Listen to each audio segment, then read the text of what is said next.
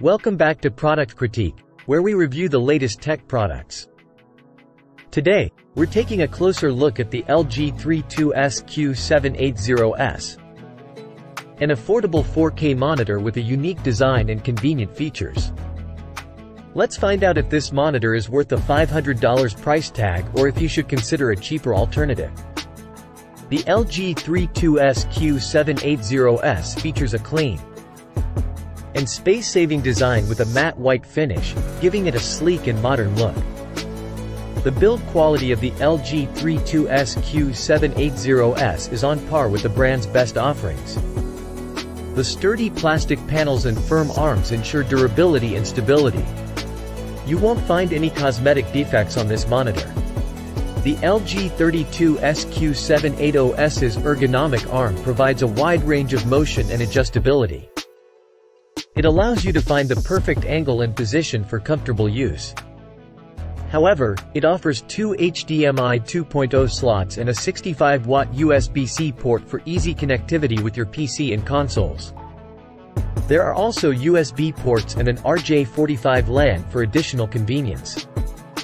It's important to note that this monitor is more TV-oriented, hence the different connectivity layouts. The built-in speakers on the LG 32SQ780S have 5 watts of power each, providing a louder and more usable audio experience compared to most built-in speakers. While they may not deliver the best audio quality, they are suitable for basic purposes like streaming and background music. Moving on to the display, the LG 32SQ780S features a 32-inch VA panel with a 3840 by 2164K resolution. While the 65 Hz refresh rate and 5 milliseconds response time may not be ideal for fast-paced gaming, the 4K resolution offers a sharp and detailed image. It's worth noting that this monitor is HDR10 compatible, but it doesn't have VESA certification for HDR. The backlight on the LG 32SQ780S reaches a typical output of 250 candelas M2, which may limit visibility in bright environments. The monitor's contrast ratio of 3000 to 1 allows for deep blacks and excellent night scenes, enhancing the overall viewing experience.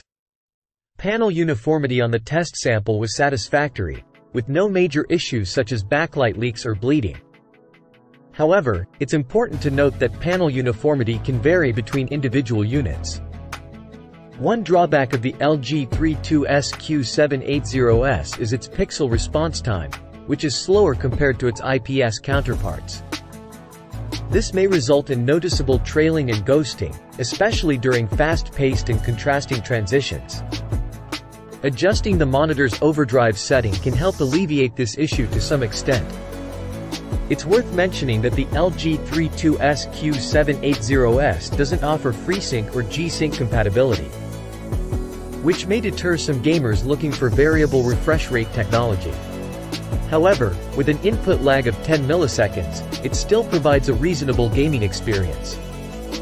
In conclusion, the LG 32SQ780S is an attractive option for those seeking a monitor that excels in both media consumption and productivity. Its large screen size and built-in WebOS functionality make it a versatile choice. However, some compromises were made to keep the price affordable, such as the absence of DisplayPort and slower pixel response time. That wraps up our review of the LG 32SQ780S.